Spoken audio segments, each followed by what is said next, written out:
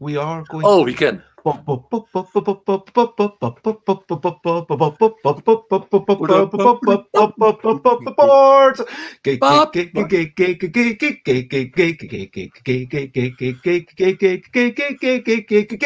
Games, board games, board games is what we're talking about.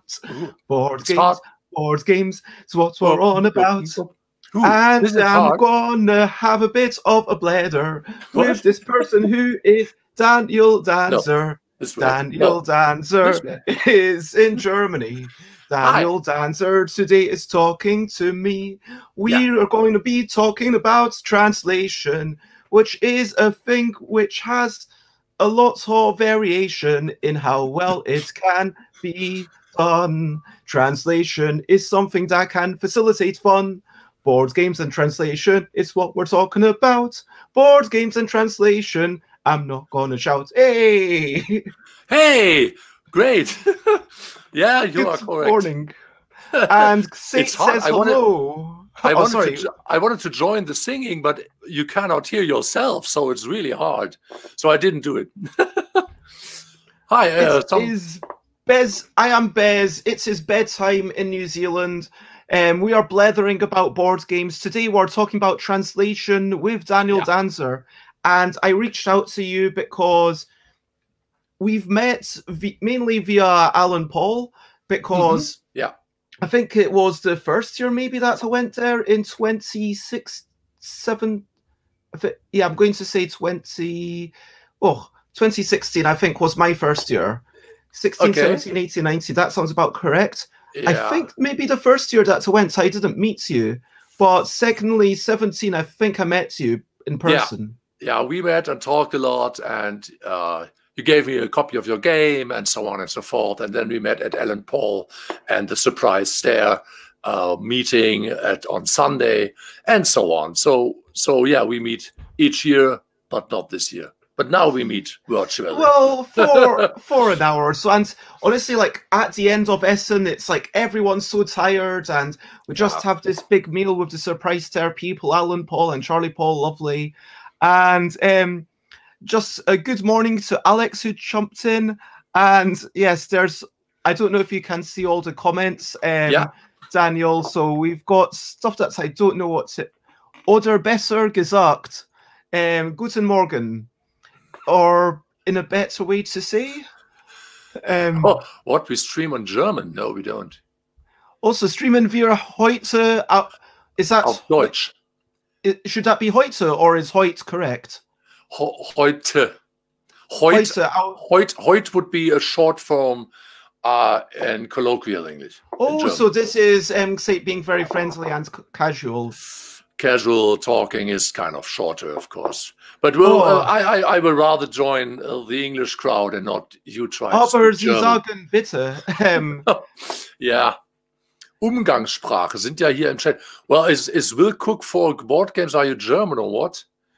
um, well, Is is so Will their Cook name German? is Xate, and they are basically German, but also American. ah, Um, and there's another one who's living in Germany learning Deutsch here. Great. So international crowd, always the best. So, um, but we are going to be talking in English, but um, yeah, ich, ich lebe. Is that how you say it? Ich oh, lebe, he's living at Leipzig. she. Leipzig is a beautiful city. I was there last year. It was it was it's great. I I love Leipzig a lot. So you're a lucky guy. Um, girl or person. So Xate says not a guy. Oh, okay. Oh, oh yeah. I have to get used to that. Okay, sorry. Um, Chris says ich bin große Stutze Einhorn. Um, Yeah, I should get you to read the German. Yeah, he, he's a he's a huge and proud unicorn, as you can see on the picture. Anyway, um, ist eine Frau. we have um talks about who you are. Um, you have like decades of experience at translating games. You've done some, well, more than one decade. We can say that. Yeah. Yeah, yeah. That's And true. so, um, you've got more than one decade of experience translating games. You started off with doing something for Alan Paul, um. Confucius. Let me guess. Hey, I am again. I just switched. Uh, no, uh, Confucius was one of the first games. Yeah, he. It was. It was funny, how, but it's a long story. So, Um, you've got ahead. well, we'll get into that in a few minutes, and then you've done Pandemic Legacy season one, which I've never really played many games in German, so I can't, I can't directly say whether your translations are good or not. But everyone I hear says that they're pretty good, so I'm going to trust them. And at the Yeah. point that you're being commissioned to do like one of the biggest games, um, yeah, and um, yeah, that's what I'm saying. I'm not saying that Daniel's the best translator because how can I know? I don't speak good enough German. If you're translating German into English, and I could even compare you to other Yeah. people, then maybe I could be giving a more informed opinion. But yeah, Well, that's that's true. I and it's uh, I have to say the the situation in Germany uh, got better in the last decade uh, regarding translations. Back in 2007 or when I started, translations into German were sometimes rather well crappy and sometimes there was not much money in it and somebody did it and it was all right so well and then it's now right now there are a couple of people who do it on on a real high level like michael krönert who made uh, Codenames into german and and other people who are really more into a professional uh, professionally working than a decade ago. So right now the the level of the standards are higher.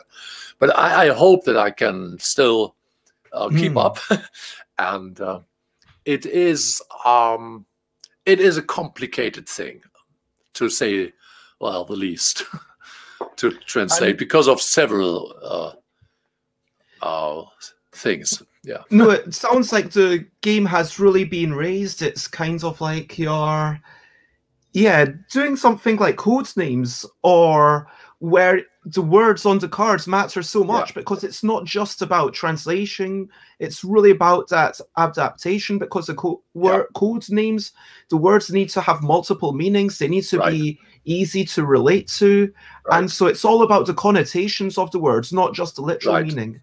That's what I, I talked to. I talked with Michael Krönert, who did it, uh, uh, about that, and and he said it was a really long process to to get to get uh, uh, words out, words in, and which kinds of words, and so on. It was a really uh, huge process to to adapt or to localize into something that works in German as well as the English or Czech or whatever version. It's that's why I mentioned it because it's really. Uh, it's it's really uh, uh, he did it in a really great way. He talked about some details, but it was really, uh, uh, yeah. it, this is not just translate a text. You know, if you just translate Hmm. a text, that's one thing. But you translate, you localize a word game like that or other games. You have to to keep in mind so many levels on about the language and what's going on, the rules and and and the country and everything and the gamers Hmm. and so on. So to localize, but this is a topic right now. Okay, you Yeah. want to make an introduction, So- so, yeah, we there's some, some introduced minor things. This is Daniel. Daniel is amazing. And hello, Jess. It's lovely to see you. Um, it says hello, Daniel and Bez and Xate. And Xate says, "Can I translate the L deck for you, Bez?" And I think this is just a joke because obviously the L deck itself has already been played in German and French and Italian and I believe Dutch. But um, yeah, it's we'll get into all sorts of translation and all this stuff that's involved in a moment. But first, let's take a step back and let's Yeah. talk about brilliant things. Brilliant things. What's a little thing which is brilliant? Well, uh yeah, I, I I have to choose one now, you know, because we talked about two, uh, uh four, but I, I I would like to choose this one, I guess. Uh it's a little thing. Most people know it. Many people have it. Uh, but to me, it's really ingenious. It's this one. It's a retractable pencil. And Hmm. this special kind is by Faber Castell. It's made of metal, so it's it has a rubber thing here, so it doesn't, you know. And then you can make whenever you want. You have a pencil with you. Uh, you cannot see because the, you know, you can just push and then you have a pencil wherever you want. Ah, here we see it. And if you don't need it anymore, you just put it away and it cannot break and it's always sharp and everything. And here in the back, you also have a, a re, an eraser. You see, you can. Oh wow! So You've got if it, an yeah, extendable eraser. Right. It extends. And this oh is really gosh. great. And you have several mines you can put into, so you have a reserve, and it's always with me. And so no idea is getting lost, and you can keep everything, you know, and you can have several thicknesses available. So you have you can have several with several uh, different thick pencils and so on. So this is my favorite thing. I always I always have with me because if you have an idea, it's lost in a second. Or you you think ah, I I will keep this in mind, no problem. And then you are on a, on a train or whatever. You go home and you think I had this idea, but what was it again? And you don't have it. So I have several of these, two or three. One is beside my bed. One is in my pocket. One is in my, you know, because it has to be with me. So all the time, of course, you need some paper, mm. but well, there could be some digital things. Many people make it on smartphones now. And I why like pencil? This. Why not just a pen? Because a pencil is more. Um, you can you can more um, because well why why I don't know. Good question. Because it doesn't um, because it doesn't well, you, it's more it's more natural and organic to me. It's a it's a pen. It's always with the ink. It's always like, uh, and you cannot erase most uh, pens. Hmm. You know, with this, I can, you can erase stuff, or and you can paint a little, make a drawing with this more easily with different yeah, darknesses and so on. Yeah, it's yeah. more organic. You know, you can make it. You, can, you see. Yeah, you, you cannot. You cannot. You cannot do something like this with a pen. It's more. Hmm. You know, it's more organic each line has a has is living. So I like mm. I like I like this. So uh, and it's only you know it's four euros or something. So it's nothing, but it's great to have a couple of these. And yeah, ideas. I think that yeah, mechanical pencils are a great thing, and I went into um, WH Smith to buy a nice mechanical pencil, and I was like, okay, well, there's three different ones, and all of them come in multi packs. To be honest, multi packs it kind of suits me because maybe I want to have one here, one in the kitchen. But it also feels kind of wasteful. Do you know what I mean? Because if mm-hmm. you're buying them in packs of four or six, it feels like they almost expect you, unless you're giving them out to a classroom, which might be great. Okay, here's eight mechanical pencils. Okay, you've got children. Okay, give it to them. That's great. And no, I, I, buy them one by one. I, I, I, buy the next one if I lose one. so mm. I hmm. don't buy them in packs. I just have my my small store uh, store for stuff like that, and I go there. I mean, what I ended up doing was to buy the three different versions that there were to see, okay, which ones of these would I actually prefer? And in my conclusion currently is that there's not that much difference, but maybe I would have been better off going, okay, I'll get one very nice one as you do because yeah. sometimes it's just yeah. And good morning, Michael. We're just talking about how brilliant uh, mechanical pencils are. Especially this one. no, it's but, so yeah. it's so functional. It's so greatly designed. You know, it really this this thing here works really good. It's it doesn't break off you know it's it's slim. It's not the, th the thick. It's it's perfect for my hand and so on. So so especially this version is just perfect for me.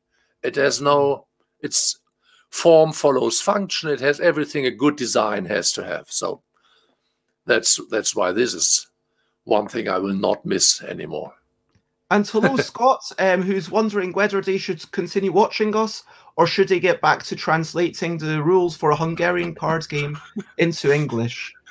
Um, I would say that it's up to you. And um, we're probably going to go off topic for about 15 minutes or so. Um, which, if you want to know more about Daniel, then stick around if you like you'll be able to see what we're talking about from the banners at the bottom. Well, I would I would say, Scott, it depends on the deadline. If the mm. if the translation hmm. has to be finished by tonight, well, you should go on. But if you just started, well, then you might uh, stick here with us. And um, Michael says um, there is little better than finding something you can write with that just works perfectly. That's why I'm sad we don't have a Muji store here.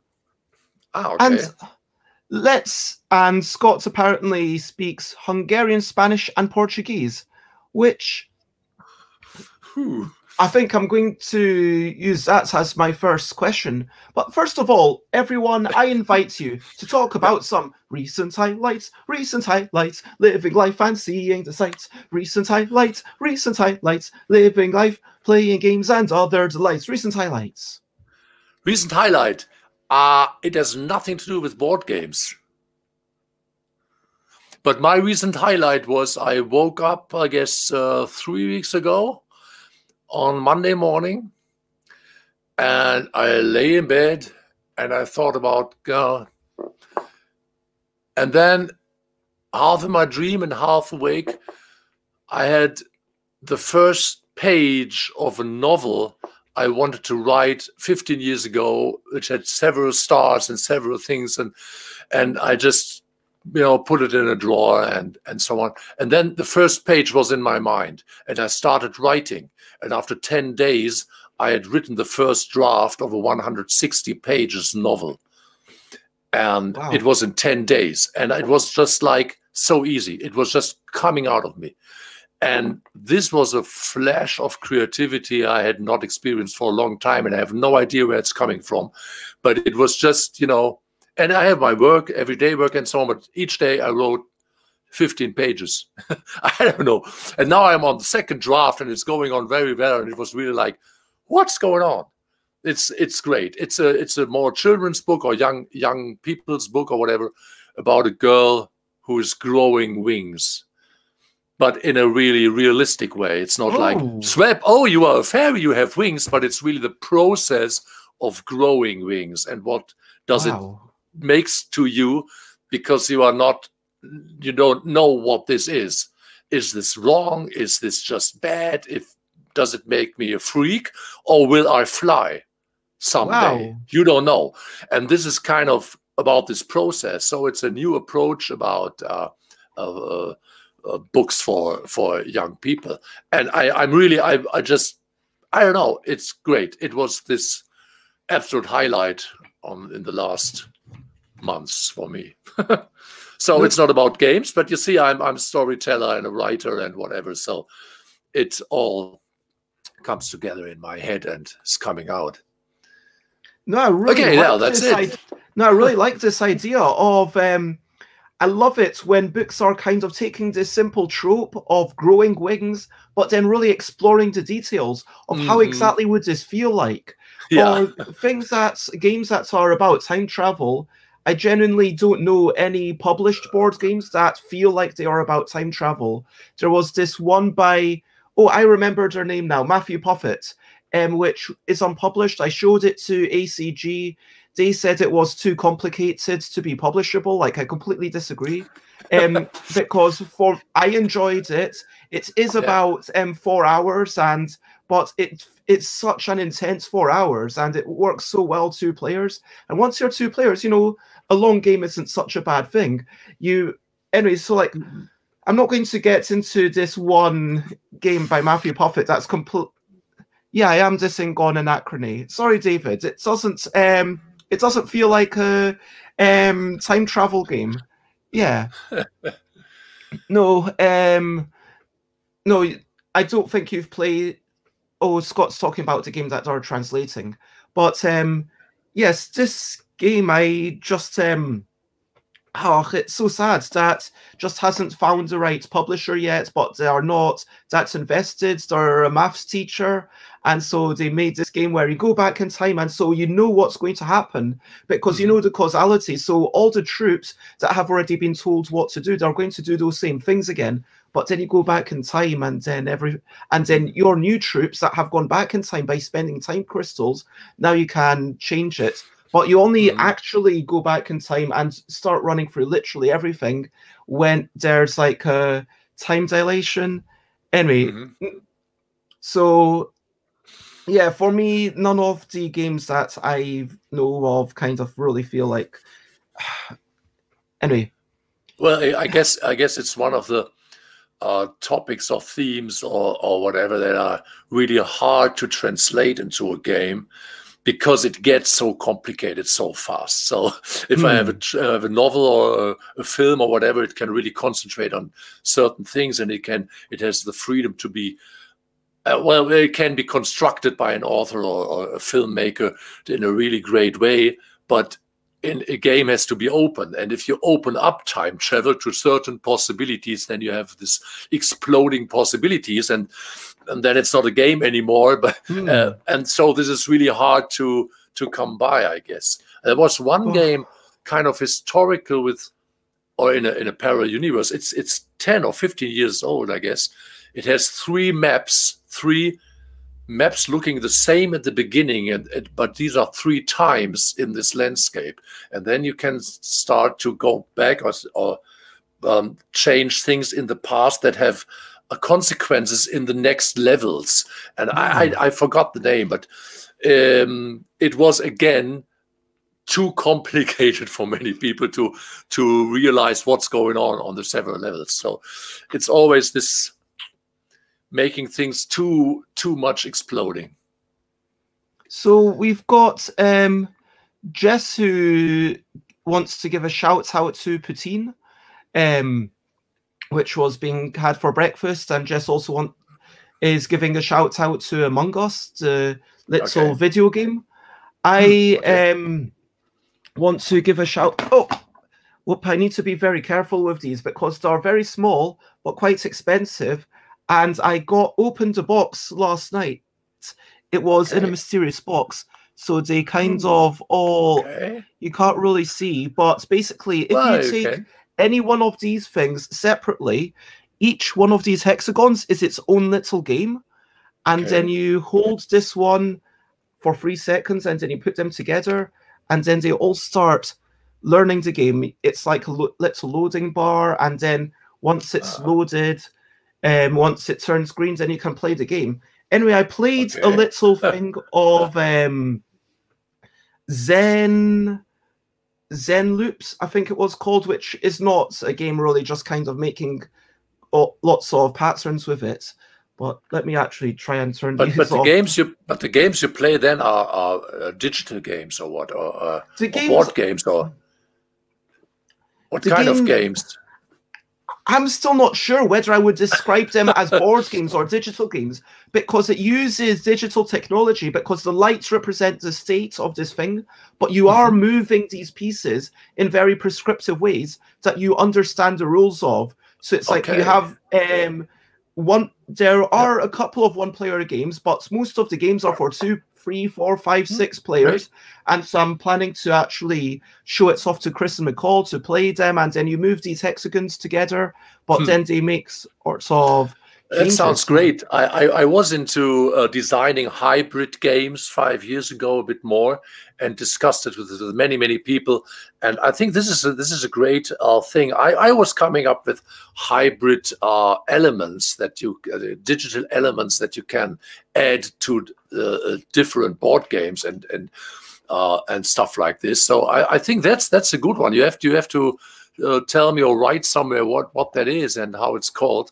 Uh, I, I like the approach of of combining this, um, and uh, because to to combine elements of digital possibilities and the still tactile and together playing board games at a table, that's great.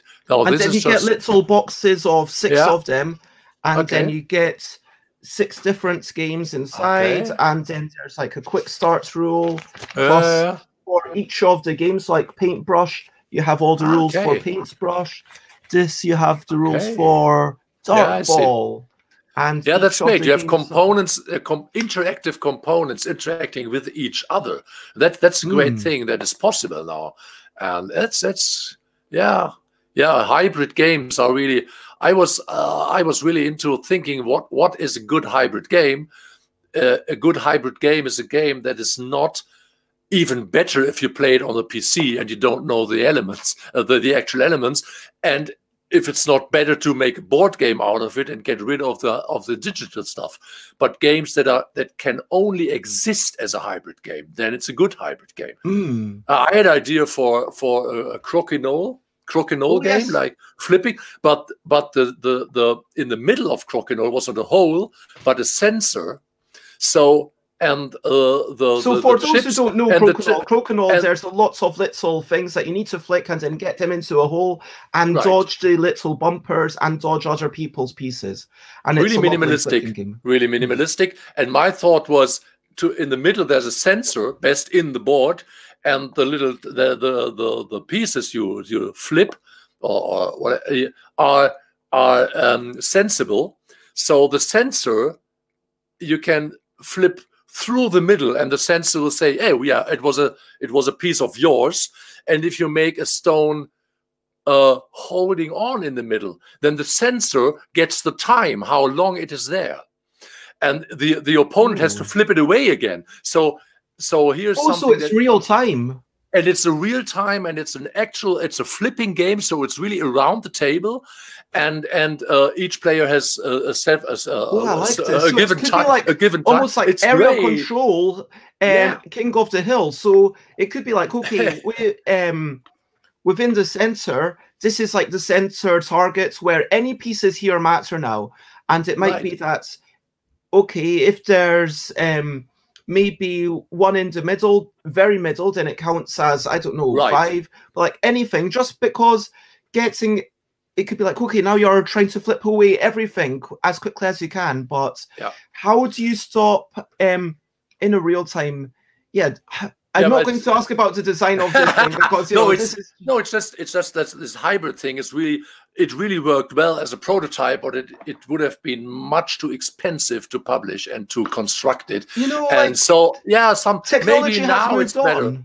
Yeah, I know, but now, but now I spread the idea so everybody can come up with the game. uh, Well- well, it's it's kind of uh, yeah, technology went on, so maybe well we we will maybe we'll go on with it. But you see, well, I my mind is working all the time on several Hmm. stuff. Hybrid games. I, that's what I why I liked what you showed. It's just really interactive and different things, and it's still a board game like Hive or whatever with the hexagons moving, but these hexagons can interact and you know do things that are not much more complicated than in a board game because it's just you know in a on a computer level and the, the timing in this crokinole time of game was really the timing was per hundreds of seconds. So you can really make oh no he's ahead of me. And there, there was a display showing how long it was. So you really want to oh no he's ahead. He had a longer time having these things in the middle. And you cannot do it in a board game. It's impossible to keep time in the board.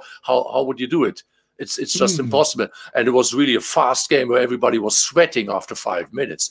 So the prototype was working great but it was a huge uh, achievement to create the prototype and and with several technologies and so on so okay like- now let's let's let's- switch to the next thing And um yeah, Jess in the comments is just saying that reaching out to the students are enjoying games. Jess is starting to play Among Us to learn that. That sounds brilliant. I'd love to play that myself at some point.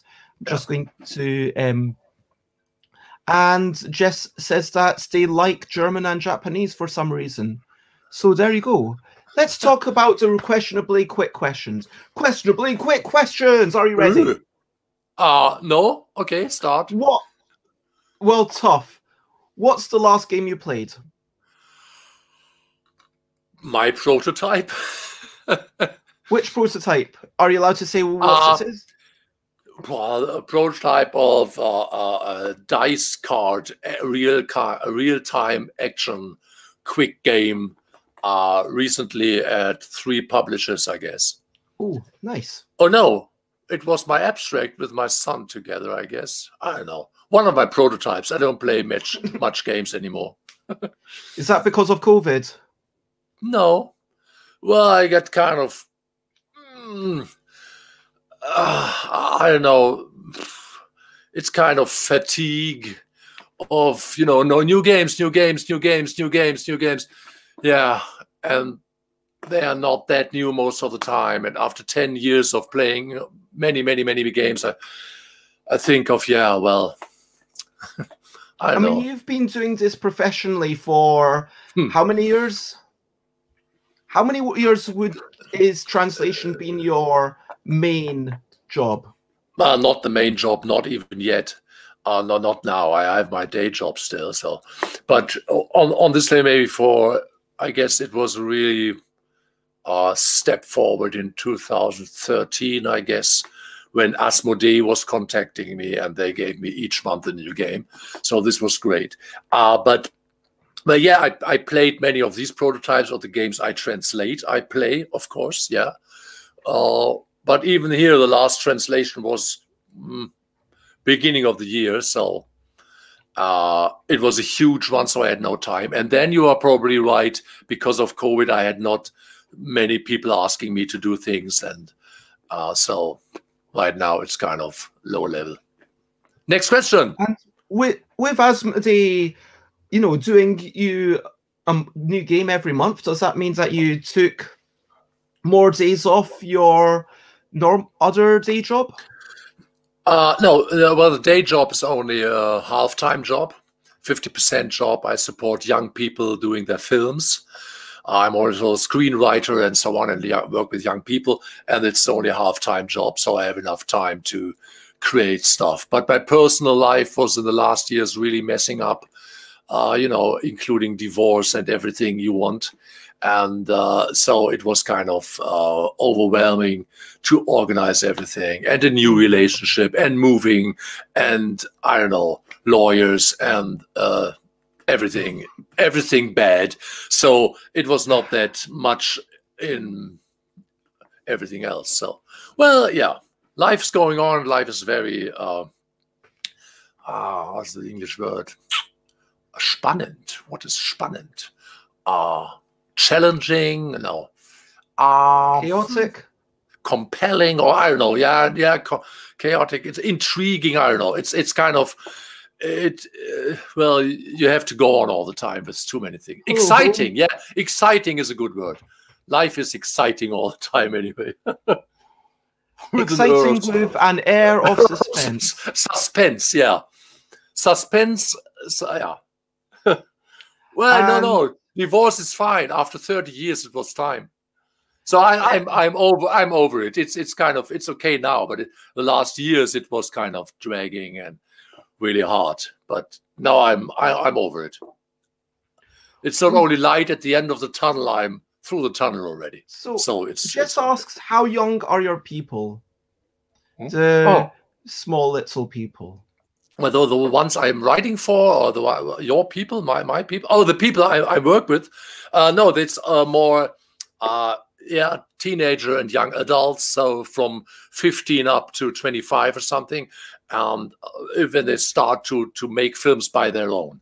And, and I support them screenwriting and, and editing and everything. I have equipment to to give to them for no money and so on. We have a monthly group where people can network and so on and so forth. They have a little festival for 12 years now for uh, Jugendliche is the German word, and I never knew what the English word is.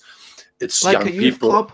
teenagers or I don't know, teenagers of 13 to 19, but Jugendlich is kind of, well, yeah, youth. Yeah, you. I work at a youth center, actually. Yeah, mm. youth. Yeah, young, young people. Okay. So how old is Jugendliche? Can what, you give us an exact, how young is Jugendliche? Is there an exact age range? No, no, it's not. If, if there are people who are 12 and make their first films by their own, they can come up and all is fine. But but mostly, you know, younger, they are more staying at home, doing things in the neighborhood. Mm. I'm at the center of the town, of the city of Stuttgart, so people have to, you know, find their way to our youth center first. And uh, we don't have a neighborhood with too many uh, flats and so on. It's in the center of the city. So people have to, and uh, usually they, they start with 14, 15, they start to think about making films on their own with their smartphone or whatever. Okay, so the final question I'm going yeah. to ask, unless anyone else has any questions that are dying to ask, which are off topic, um, the final question I want to ask is, well, we've already actually two more questions. Firstly, where exactly are you? Um, I, we know you're in Germany. Where exactly are you? Uh, I live in Stuttgart, which is uh, in the southwest, close to the Black Forest, uh, the city where Mercedes Benz and Porsche and all these cars are built. So there's a lot of money here. So the youth center is well equipped. Uh, Stuttgart Airport, yeah, of course, and uh, yeah, that's that's where I am exactly.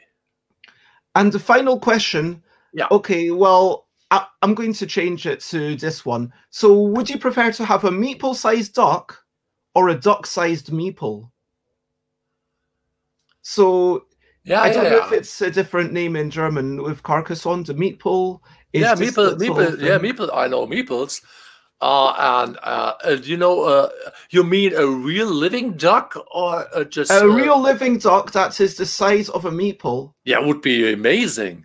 Or this? No, no, no. I don't need a huge wooden meeple, but a small duck would be great. Could fly around and swim around and bark, bark, bark, but it's small. It would be fantastic. Yeah, a meeple-sized duck, of course. What else? Okay, I think that did anybody choose the different uh, thing? Yeah, a couple of people have chosen the other one because right. maybe there are concerns about caring for this thing. It's so small, doesn't need so much. you just leave it out the window, it can care for itself, but it comes back because it likes you. And hello, Chris. No, that's not true. You, it's just when you're here that people are choosing that one. Um, but um, yeah. we've got let me get to the main topic and let me remind people that um, to ask questions, comment as you want if from like follow. And so, yeah, what is translation? Let's go with some sort of definition. Um, wow. What is translation? It is to to take something and change it so another group of people can have access to it or understand it probably uh,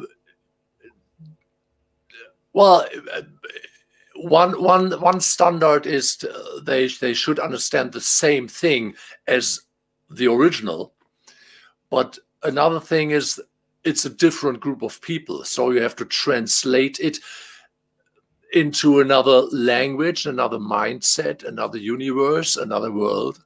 It's kind of hmm. you probably know you probably know the uh, as a kid there were some kids versions of Robinson Crusoe, for instance, or Oliver Twist, or even Huckle, uh, uh um, Huckleberry Finn. It's uh, it's written. It was written for adults, and there were young versions it's kind of a translation too.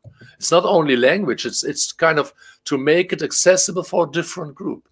And if you talk about English to German, the only thing I, I am able to do is German gamers are completely different from French gamers or English or American gamers. So you have to really change it into something that is the same game, of course, Hmm. But language wise and, and text wise, it might be some differences here and there. So, so translation is really complicated uh, thing. So you're really blurring the line between translation and adaptation and almost variance. It's like you, by the definitions that you're giving, which I like it. I'm not disputing it because it's a very people centric focus. It's yeah. kind of saying, okay, we're bringing it to a new audience. If it's an adult version, we're bringing it to children. So in a Bind Junior, you could say, or well, Yogi Jr., if that's ever comes out, would be almost like, okay, we're translating this game for an even younger audience who's maybe four or five years old. Or My Little Scythe, you could say My Little Scythe is yeah. a translation of Scythe. If you want to, I mean, I mean, you ask uh, very generally what is a translation. So I, I thought about really generally uh, of course, if I say I, I take uh, Splendor or Pandemic Legacy Part 1 or whatever, and you have to translate it from English to German, then of course we talk about a more restrictive uh, definition mm. of, of, of things. But but uh, in general, it's it's really this transition uh, into into another. Yeah, it, it's the same, but in a different uh, um, ah Erscheinung anybody uh um it's a form form or shape it's it's kind of it's kind of different so yeah and and because we, we, if you talk about this target group thing especially because i, I worked a lot for asmodee which uh, who had a lot of, of, of originally french titles and i always say give me the English version because I'm not that good at French, but give me the original French version too, of course, because I can read and understand French in a way, and I want to, uh, uh, um, you know, see if there are any differences into English already or what. Uh, and then I start from the English version, but there were almost no game rules so far, and I did, I guess, a hundred plus. Uh, when the game was not on the market already, but it was, you know, in the development process, then I always ask so many questions to the designer or the editors, and they almost always changed the original rules because of my questions and because mm. of my additions. Because I said, here's an inconsistency, or here's something not clear, here's something that has to be added, at least for the German market, because German gamers are rule lawyers they look at each detail and each word. There were a discussion mm. on Board Game Geek about Pandemic Legacy 1 about the use of a semicolon. If it should have been a comma or a semicolon. And people were. Did it change the. It was really. The... No, not really. And I used the semicolon for a purpose and it was correct. But some people thought it should have been a comma. It would have been much more clearer. I said, people, it's a game and it's one I don't know what we're talking about. So, but Germans are really, really, really precise. And the French, you know, in, in France, it's if it's not in the rule, it's okay. You can do whatever you want. in Germany, it's no, no, no, no, no. What if it's not in rule? The rule is not complete. So I had to add many things. And sometimes the Germans, well, I'm a German too. So sometimes I think, yeah, you know, you pick up the card and place it in front of you.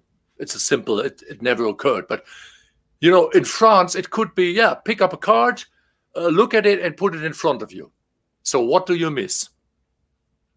Well, you miss if you put it in front of you, you know, face up or face down.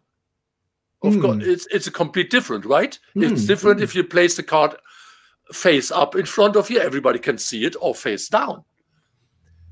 And, and in France, in France, it could be that the rule is it doesn't say. And then you ask the designer, and the designer says, "Well, usually people make it face down, but it doesn't matter." And you say, "Okay, in Germany, this would be a no-go. You should say face up or face down. And if it's open to the player, you have to say that." You have to say in a special sentence, you can make it face down or face up. It's up to the players. Then it's clear. But if you just don't write it, you just say put it down. German, the Germans would say it's a bad rule, it's not complete, and so on. So this is a kind of extreme, extreme uh, example, but there were examples like this where people put up some chips or whatever, placed them back, and it was not clear up or down. And I had rules where I have to, I had dozens of questions like this to the designer and even in, uh, especially in France, they are really open. They say, "Well, this is a game, and everybody's doing something with it." And in Germany, everybody wants to play exactly the same game. So you have to adapt this from into German precise. if it's a game uh, like it. Of course, there are social games or whatever where it's more open-minded and and more. But you have to keep in mind that the German asks uh, different questions, and so, and of course, as a translator, I was I was. It took me years to realize it. If I translate a game, I am the first human being reading the rules without knowing the game already.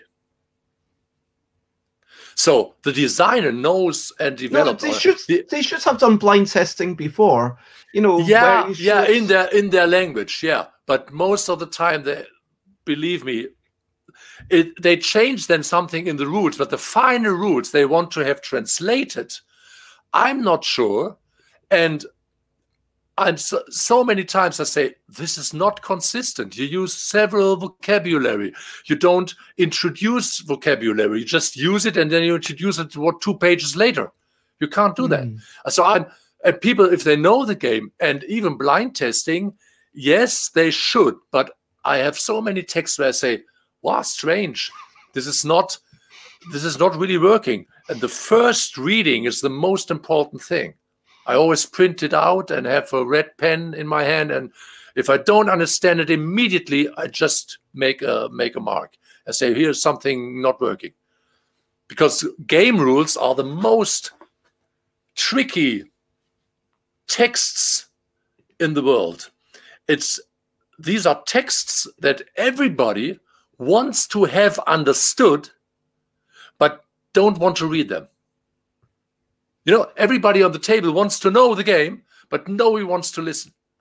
The rules have to be, I don't know, it's it's kind of nobody reads uh, rules for a game for pleasure, you know, as any other text, as a novel or an article or whatever.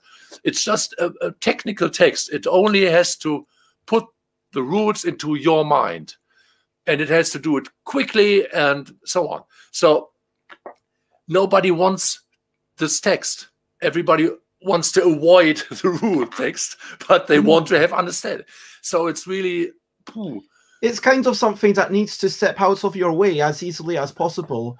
But yeah, well, still, um, I mean, we don't really have um, much public analysis of the rules. Like people talk about the player boards and the pieces, mm-hmm. because I guess yeah, everyone sees these rules as an obstacle. And yeah, I've gotten to page um, one to technically page four of this eight page rule book.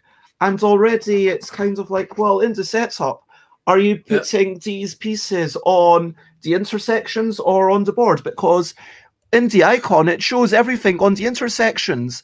Whereas, yeah. you know, I assumed that it was on the spaces, but I'm honestly not 100% sure. I'm hoping I'll yeah. find out by the time I get to the end of the rule sheet, and you know maybe we can play that together right. tonight, Chris and McCall. So, so, so to me, it's always important if people ask me, uh, uh, "Hey, can you translate uh, the, the, rules for me uh, for us?" I say, first of all, give me everything you have. Give me all uh, the graphics, give me all, give me the layout, give me all you have, not only the text. Because, as you say, I have to see the examples. I have to see uh, uh, the, the, the components. I have to know how large a component is. Because in Germany there are very different uh, uh, a different vocabulary for small, uh, larger things. I have to know of which material they are, and so on and so forth. I have many questions, and I want to have everything. Uh, you know, I, I, did translation for. Uh, first, it was uh, Terror in Meeple City, and then it was Rampage, I guess, by Space Cowboys with the city you build up and the meeples and the dinosaurs are coming and eating the meeples and the, uh, five years ago or so. It's a, it's a fun game, and it was so important to have the illustrations of the dinosaurs because these are really, you know, really crazy comic-like uh, stuff, and they have different costumes and so on. And if you have the illustration, because they have special names, and to to meet the the the attitude and the and the you know the level of how funny they are or whatever they mean if you only have the word only the name of this dinosaur you don't you don't have an idea if you see the illustration you know ah mm. i have mm. another name for the dinosaur in german that really fits so you really work in a in a different way than just translating text you really have yes. to understand the game play the game best of case you have a prototype or and i don't think this happens but i almost feel like ideally you'd want to have the translator play the game on yeah. camera, make sure, and then the designer or the developer at least, like whoever the project manager of the game, watches yeah. that to make sure that it's 100% correct. Because I've known examples where the rules have been written and even corrected to mean something that the original designer did not intend. And it wasn't that the person changing it thought, oh, this is better they just um, misinterpreted it. So yeah. it's actually it's a lot of communication. I always ask so many questions. I always tell the, the people if a publisher coming to me and say, "Hey, do you want to translate the game?" I say, "Okay, need the email address of the designer or the editor or developer, or whatever." Because the first thing I will do is ask a lot of questions. How do you mean this? How this is somehow mis can be misinterpreted maybe by myself, but it's not completely clear to me. And so I ask again and again and again and again. And I annoy people a lot. It's it's necessary. It's really I don't want to make mistakes. And I see so many English versions I get. That if I read the French version, I see that even the English version is not correct. it's not correct mm. because I see in the French, I understand French enough, and in English it was somehow, you know, ambiguous. I said, well, what this is it that way or that way? And then I look up the French and it's perfectly clear in French, maybe. I say, mm. hey, your English version is not so good at this point. And I understand it this way. Is it correct that I put this into German? So it's really a process of communication. It's not only I get a text and I translate it into some German. That was that was ex uh, exactly how I how I uh, started everything because Confucius by Alan Paul was um, put on Board Game Geek, and it was uh, close to Essen, I guess, or summer or whatever. And uh, I was really interested into the theme, old China getting gifts. It was kind of, and I liked the design. And I wrote to Alan Paul without knowing him, without ever met him. And I yeah, wrote, it's hey, all about the kind of when you get gifts, you feel some debt yeah. to the other person, and you have to give gifts. So giving gifts can be actually a way to trap people in a political right. situation. Yeah, and that that was great. And he wrote back, and and I said, well, maybe I can, maybe I can uh, um, make something to to make it in German. And he said, yeah, we have already a translation. I can send this to you. And then he sent me the German translation, and it was made by a professional German translator, but she hadn't played a board game ever. So it was a perfect German text and it didn't make any sense because it was not a game it was just it was somehow the text but you know she had no experience in special gaming terms and so on. And and, and i said to Alan this is not a rule. This is a pretty german text but it doesn't mean anything. I mean it's extremely now but it was really kind of kind of and i said well i will over i will do rework all this. And said oh this would be great if we had of course do it. And then i started to rework and i started to not do 100% of the text new but it was a hard work and then alan paul was really happy that somebody had a look and then i realized how important it is that you are a board gamer or a kind of game designer. I, I design also kind of games a little bit, and back then, and and they're really a kind of gamer who knows what a board game rule has to be, and not only a writer or something like that, or a translator. And then I got into more and more projects, and then, yeah, but that's this is exactly what why it's so important that uh, people are really into the board game scene and, and everything we have a couple of questions. Um, so quickly, Alex is asking, do you charge extra for rules developments? It feels inevitable almost that you and Paul, you care enough about doing the craft that you're going to touch into developments anyway. Um, but do you ever okay, if this is too bad a state, you charge extra, or would you be interested in actually doing development officially? Well, yeah, well, I, I, I, in the last couple of years, I also did some work that were beyond translation. Did some uh, checking checking facts for trivia games or even editing rules. Or uh, there was a Swiss uh, publisher who was republishing a game that was published, you know, in a, in a kind of private way, and uh, by some by just some people, and they liked it. They want to republish it, but the game rules were absolutely non-professional. It was really like some buddies came together and wrote something down, and and there were so many inconsistencies and so many un unclear stuff that I said, okay, I have to restructure the whole thing. And they liked the idea and said, yeah, do it. And then, of course, I said, okay, I can do this, and I charge for this, it was not a translation at all. But you know, if it's in the translation process where I say, well, for the the localization for German people, this should be a bit different here or there. It's kind of included, and I include. Well, my my fee is. Uh, is a is a fee I fix it from the very beginning. I say, give me everything you have. I calculate because of my experience how, what is the, the language level, the game complexity level and all these things and how much has to be done after first reading. And then i say okay my fee is about that and this is not negotiable.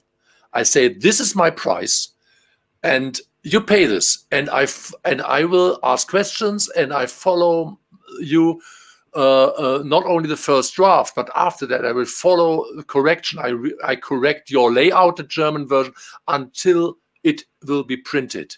I will uh, follow you all the, all, all through, through until the end for this price. But the price is fixed. It's not like, you know, we are not on a bazaar where you say, ah, it's too much and this and this and this. Say, this is my price. If, if, if it's too high, then goodbye. Yeah. Because I don't have time for that no. the whole notion that you can um, do a print run of, and I didn't realize this early on, it's kind of crazy how everything is kind of negotiable. That you can do a print run of, you know, 2,000 games, 3,000 games, which I know this is very small for a big company like Asmodee, but for me, it's a big number. And, um, you know, going saying, okay, how much is yours? How much is yours? And you ask multiple people, and then you ask to compare the services, you compare the materials, you think about, okay, coming from China, it'll take this much extra time. And then I say, well, thank you very much. I'm going to go with this other person. Um, it seems like given the prices, I, to be honest, didn't want to go with China unless it was going to be cheaper than elsewhere, I would rather keep it within Europe because then it's faster to get to me. And then they say, oh, but we will price match, we will change the number. And uh, it's like, you know, probably this is why there's actual people. I know someone whose entire job it was just to go and negotiate with people and get a um, better price. Like yeah. they work for Hasbro and like odds like they basically yeah. just manufacturers give us a better price. How cheap can we get this? Well yeah not not not with me. I mean you can you can compare my price and my services and whatever to somebody else's and then you decide. But i i just because because otherwise i i i, I must you know calculate something and say well, I put 20% on that because I know we will negotiate and meet in the middle, but it's it's hours of time to negotiate. I don't want to write emails. No, it's not that because mm. of this. Hmm. Because I just have to say, this is my price tag, and that's it. Because it doesn't make it to me, it doesn't make sense. You know, it's a couple of hundred euros most of the time for a translation, and and and, and I don't uh, I I don't work another hour just to meet a price. I I don't I don't care. Then they should they they if they if they want if it's too expensive, they know the price tag. Finish. Some people try to, and I always say no, because it's both risk. It's risky anyway. It's risky on my side because if I miscalculated and I see, wow, it's much more work than I thought, then I'm really, well, I have the trouble, you know. And I, I sometimes I was now I have my experience, but but even a couple of years ago I go I, I set the price too low, and that's my risk. It's never too high because I, I, I you know, I read the whole thing. I keep, I get it back and read the whole thing. Yeah, as long as proofread and so on. It's so um, much work. It's hard to say anyway how much how much money per hour I get. It's it's almost not. You cannot say. So it's anyway, it's a price where you say, okay, I do this. I don't know how much work it will be, but this is the price for that. Finish. yeah, it's kind of from a publisher's perspective, as long as you're maintaining a consistent level of quality, as you say, it's like, okay, is this price worth it for me? And you know, you, people are allowed to ask, hey, what is the price for this? and you're willing to say, okay, this is the price, and if oh that's a bit more than I expected, then don't go with Daniel Danzer, and that's it. but um, Home asks if you work more with big companies or independents. You said in your description you've got both. To, um, both. Completely do you have both. a preference? No, uh, it's uh, it's it's completely both. I worked a lot of times with Asmodee and Pegasus and uh, other larger companies. And uh, there are always smaller companies uh, who are asking me, and I say, yeah, yeah, I can do this too. I worked for Mesa board games from Portugal, and I don't know people from all over the all over the world. I made Deception for Hong Kong people, you know, and so it, it's it's you know from all over the world, smaller companies, larger companies, and of course, uh, I had some. There were one one Kickstarter thing uh, with with you know with figurines and the whole universe and a large rule book and I don't know. It was a huge. Uh, uh, uh it would have been a huge project, and I said, okay, guys, I need so many time. I need months for this, and I need at least because I work half time, so I don't have that much time. I need at least three months for it, and it would be work for more or less nine thousand euros because it adds that much. And and then they wrote back, uh, okay, how about two months and five thousand euros? Uh, well, I said no. I mean, and they worked back and forth and and said, no, no, it just doesn't work.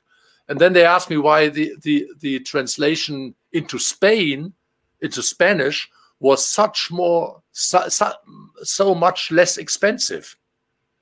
And to me, it was a kind of crazy question because, well, I live in Stuttgart. Uh, my rent here is so much higher. I mean, euro is not euro, you know. It's it's just my coast, and it's um, I, I cannot. That's I can't mm. negotiate. Well, but small game, small small publishers or, or larger companies, to me, it's the same, and it's the same price too.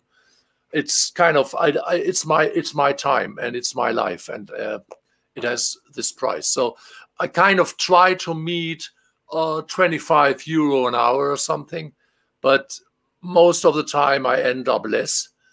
Uh, so I'm not that good at it but it's uh, well, uh, you know, it's additional money, and, and it's kind of, uh, of course, I have to do the taxes and everything, but I don't mm. pay social stuff and so on. So, but it, well, there are some questions about price or whatever. Yeah, well, it yeah. it is really this calculate the price. Yeah, the the problem is, I give you an example. I did Ashes, uh, Rise of the Phoenixborn which was this new universe, a new fantasy universe, a card-driven spell game, you know, where uh, I guess two-player uh, mostly, where people are having special creatures with special spells and wizardry and so on and so forth. And I said, well, I take this money for it, as far as I can see.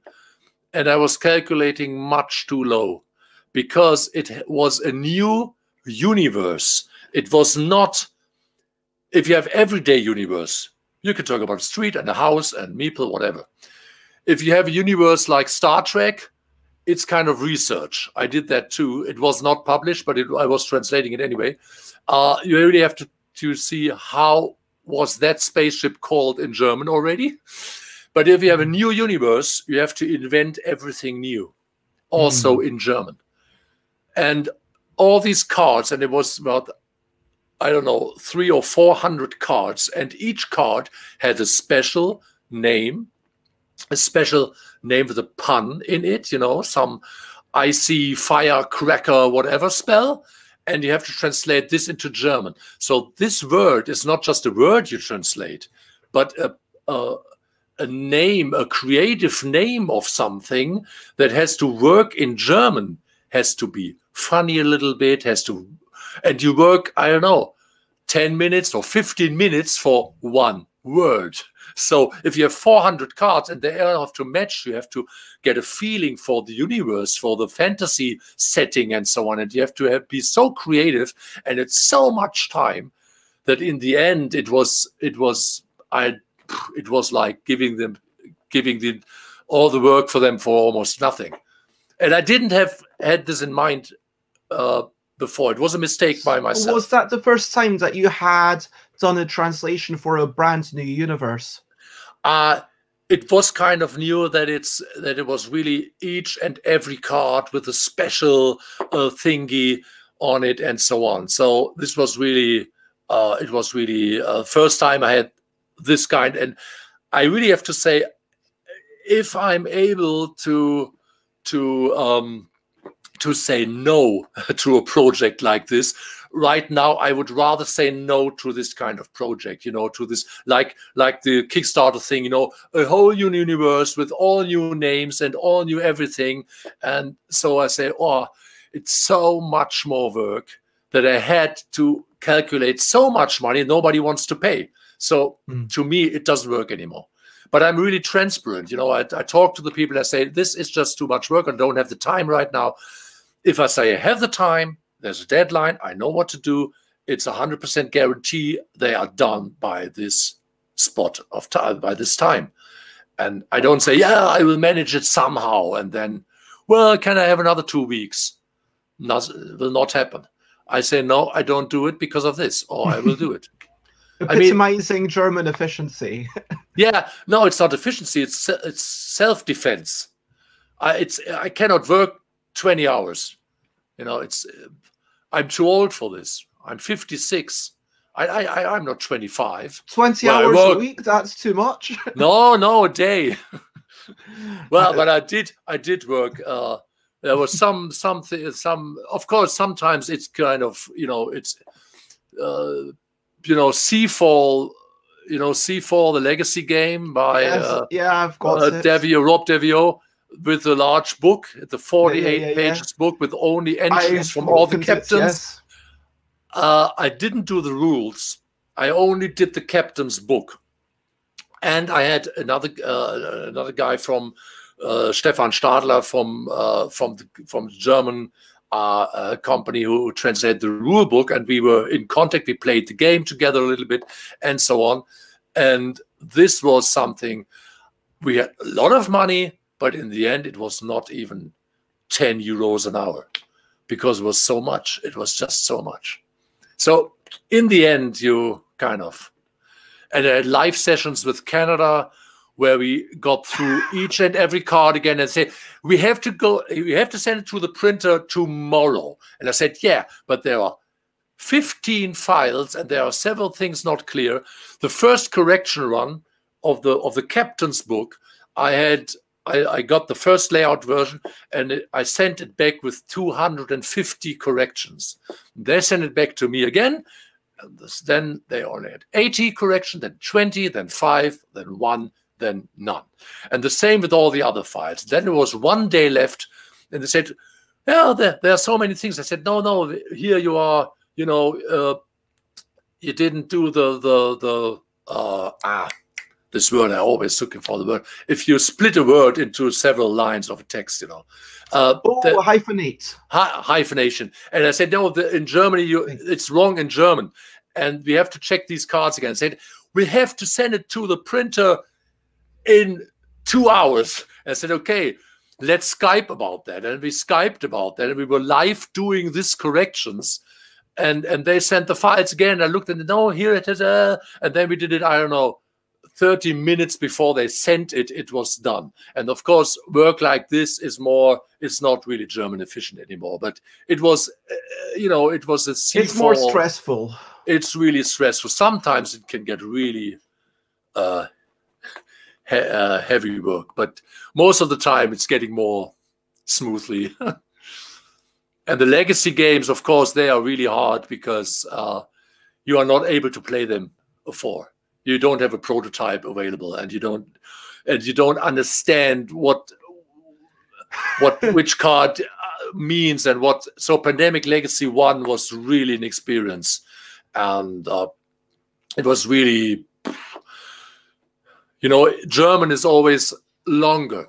I mean, English. I feel like okay. I do. I'm just having um, a lot of fun, just letting you go. Maybe I don't know if you would be up for coming on again in a couple of months, and maybe we can chat specifically about legacy games and Oh, you know wow. the challenges. Oh, yeah. Because you know, talking about your involvement in season one and um, Seafall, Mhm. but like Jess asks if Jess asked if I worried about people not knowing all the rules, and I thought, okay, I don't need to answer this, but I think this taps into the reason why rules are important. Because yes, if you've got the same components and you're getting a rule wrong, you are playing a different game. Now, in some instances, that's totally fine. Like if you are playing a game and you say, okay, you know what, this rule doesn't work for us. I would like to change this rule. Like Paul Grogan wants more information. They don't want to have random events. They have the top card visible. So they get to cheat, see a little bit of what is coming. And okay, Paul Grogan, their group knows that Paul Grogan is making these rule changes for their house. No house rules, that's fine, as long as it's done in a deliberate way. But if someone gets the game wrong just because they are and look, I'm familiar with French publishers, of course I am.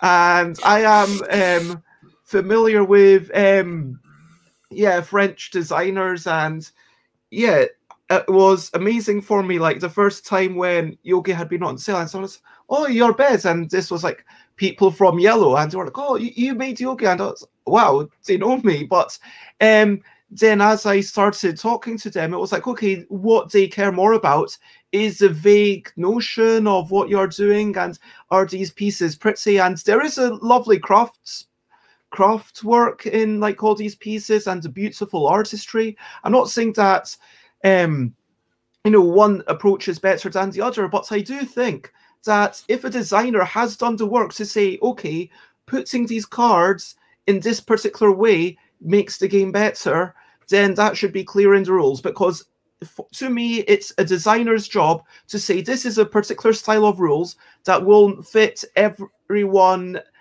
that's within the target audience and then the game describes what who it is for because we talked about good games and bad games before we started off and daniel's saying oh there's no such thing as a good or bad game but um i'm just paraphrasing but like you can as a designer say hey this is more likely to work for the people who are like more likely to play this game and so for those people it needs to be clear and yeah I mean, like I- well, that's why to- it's to- important to- to translate Yeah, well, there are two things about that. Uh, first of all, it's it's really dependent on what kind of game it is.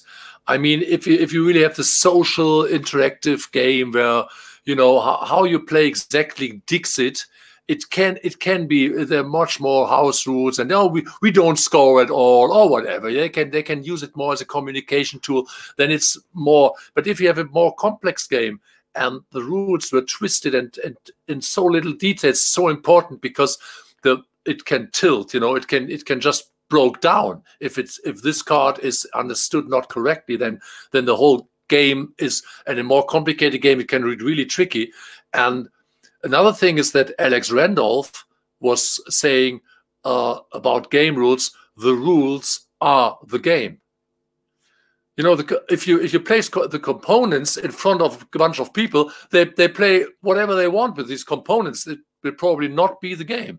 So, and you can change components in a lot of ways. They can be of different sizes, material, whatever. You can you can make many many difference. But the rules are the game, and the rules are the copyrighted game. This is the ideas, what the game is about, are in the rules and in, in nothing else. Well, sometimes in, uh, components material also has text on it or information on it, of course, but uh, how the game works is in the rules. So it's very important. Yes, I would 100% agree that the rules are. I mean, obviously, the rules can be put onto the cards, but then those components are still giving you the rules. Um, we've got. Yeah. We had a quick question. Did you have to work on Spirits Island Second Edition? Because Home said that there was. Ah, yeah. Okay. yeah, I can, I, I, can go into that. Uh, we when when I did Spirit Island, I played it with uh, an editor from the publisher company here in here in Stuttgart. He's also living in Stuttgart, which is really uh, convenient. And we played Spirit Island and everything, but you have 300 or what cards with all these special little icons and everything. And uh, we are talking now, or we're going now into the region, into the area of mistakes. Mistakes are kind of wow. Mistakes are the worst thing you can do. And as a translator, you are kind of banned or from from the world if you make a mistake. Now, first thing is almost all original rules have mistakes in them. and mistakes are kind of, you know, even if so many people read it and play it again and again and so on, something is missing somehow. It it it it happens.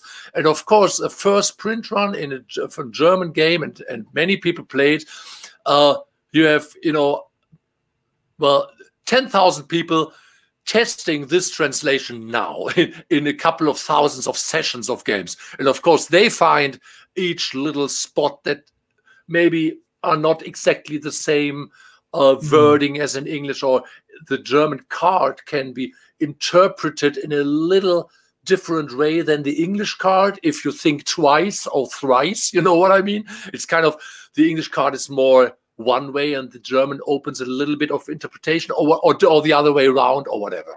And there are discussions you can discuss in this kind of Spirit Island is really card uh, driven heavy game of really really special things that can done by cards and interactive between cards so some english uh, uh, text might be more clear with the other cards and if you have these two cards in german they open up a, a, a possibility that was not there in English if you take the English card. So it's really this gazillions of possibilities that you cannot test and test and, and work out. So there are kinds that can be done better.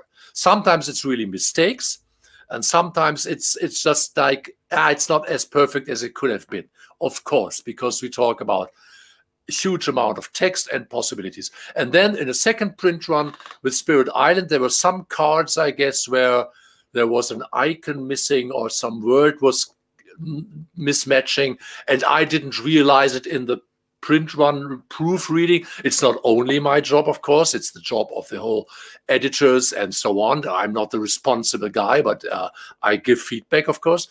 And they were, and we all, we all missed some details and then uh, Pegasus will get the feedback from the people, and then they change some small things for the second print run. And uh, I did also the the the first uh, um, addition to Spirit Island, and I uh, also translated the second edition. And it's really hard to to to get because it has to match the first in the wording and so on. So it's really hard work. Uh, with Pandemic Legacy 1, I, I also made a, a Board Game Geek thread. It was a thread where all the mistakes we made, it was about, I don't know, five, six, seven mistakes. Uh, we explained all the mistakes in a thread, a spoiler-free thread, where I said, okay, when you come to February, now read this so you avoid the mistake. And then there's a little spoiler tag where you click yeah. on February. That would be uh, interesting uh, since I've so played... so I so I put this thread up to to to all the German people. I said, if you play Pandemic Legacy, the first print run, because they corrected things too.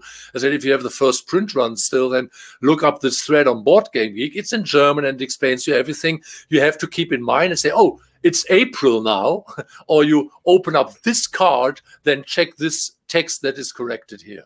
So it's a kind of service to do it, but it was a lot of work again and I don't follow this thread anymore. There's still some discussion going on sometimes, and I say, "Hey, I'm out of that. It's five years ago. I, my work is done."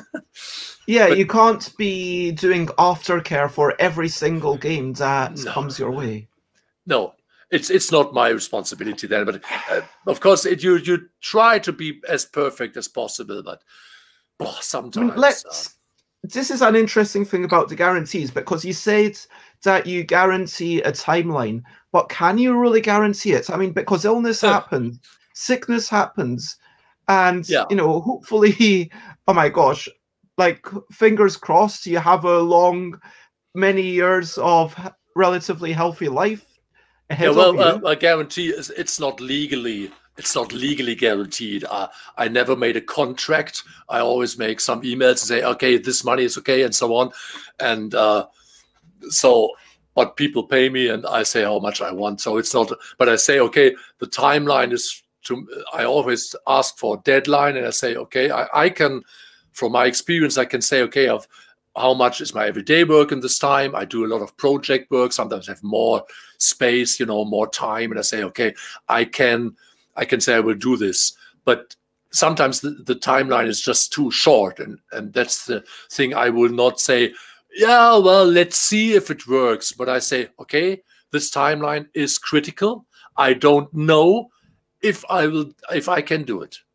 So, you know, this, it's, of course, there's sickness. Of course, there, well, then I write them and say, right now I'm in a hospital and I have two broken arms. So sorry, but this didn't happen yet. I, I mean, the guarantee is not, you know, this, mm. this German-like guarantee. But it's more, it's more like out of um, 13 years of work, you've never been late so far? Well, there were there were some things developing in a critical way, but it didn't really depend on me. I was sending my first draft in time, but of course they have to send me back the layout so I can proofread. And sometimes then there I'm waiting for weeks and weeks and I say, where's the layout so I can proofread? And they say, yeah, yeah, we're still checking. And then they send the proofread a week before they have to print it. You know, then it's not my problem and it's not my. Uh, but of course, I have to be then the one who who really works really fast. Uh, sometimes it's not only on me how the how the deadline is kept because it's work. You know, oop, it's it's going both ways. So there mm. were hmm. some some things developed in a not that good way, but until now, I I always uh, I did like always, you've always managed to keep your end yeah, up of the yeah. bargain. And um, I just put a bunch of links into the Twitch. Mm-hmm. And if you're in YouTube or Facebook, you'll be able to see that anyway. Um, oh, question: Do you teach your job asking for a friend? Who? I had to I had to calculate my fee first. How? uh, not not not yet. Uh, no, I mean it's not really something. Ooh, uh, I, I, I would say, okay, for this friend, you you should tell the friend he should send me uh, an email and uh, tell me what what uh, what he what he wants to do or what he what what is his questions. Or she, or she yeah, sh sorry, friend, they, whatever. Uh, and I can I, I can tell them uh, how we can go on and and uh, if it's really going to some really professional teaching sessions, we will speak openly about any kind of uh, any kind of money I need for that. But if it's only some some questions or some feedback from my side, it's okay. It's no problem. People ask me a lot of times uh, many things. And it sounds like if someone wanted to actually have a weekly hour with you, then that's something hmm. that you would possibly be willing to say, okay, this is my fee for that tower, and there we go. It, it really it really depends uh, uh, on uh, you know I as a as a screenwriter and filmmaker and so on and so forth and all these creative jobs it's always this there's always this brink of you know of doing things for free because you know it's only creativity and we all do it because we love our jobs. And then at the end of the month you say you know this should have been paid maybe or because it's worth something for people. So but it develops and i'm absolutely transparent all the time. I'm saying yeah we can we can start it. And if it works out to become more and more i will say well now we we kind of too professional that it that i can do the service just for free anymore mm. you know mm. it's really open i'm open to discuss everything and if it's just a, a weekly chat for for an hour with somebody and it's reasonable and, and i like to chat and everything's fine then it's fine and if it's really kind of professional input for somebody who works professionally in this, well, then uh, we are on a professional level, and then money has to change hands. It's... Oh, yeah, that's not made by my made by myself, of course. This is done by an ancestor of mine. Yeah, that's a pic I took in 1985 in Brooklyn, I guess. No, in the Bronx. No, in Queens. I mean, I actually have a question about this, but let's stick to translation. yeah. Um, what would you use in German as the pronoun for non-binary? So um, Xates is talking about people who identify as non-binary. The English uses they, but that doesn't work in German. And I think in German, wow. masculine is default, you know, gender neutral. Is that correct?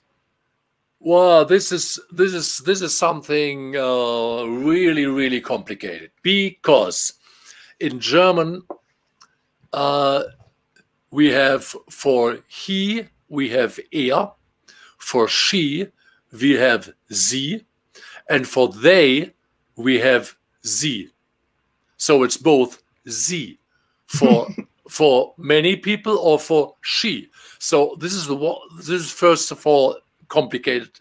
So a sie would be both plural, even if it's only male male. Uh, many males are sie. So it's kind of, I don't know. Then the complicated thing in German is that all um, in, in English it's I go, you go, she or he goes, and they go. So go is kind of yeah. In German, it's different from from the singular to the plural. So if I if I use sie as a plural, I have to change all words into a plural form.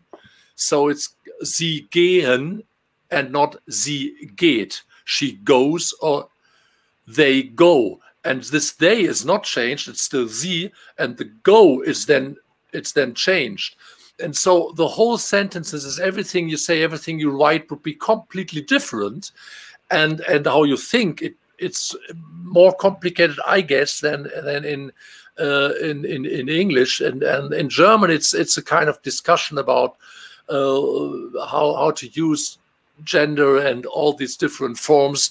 Uh, and I I try to. Uh, I'm I'm not too much into. I have I have. Uh, it sounds like there's are, just no good option at the moment. Uh, so that's right. That's right. Why we get so many German yeah. rule books defaulting to male.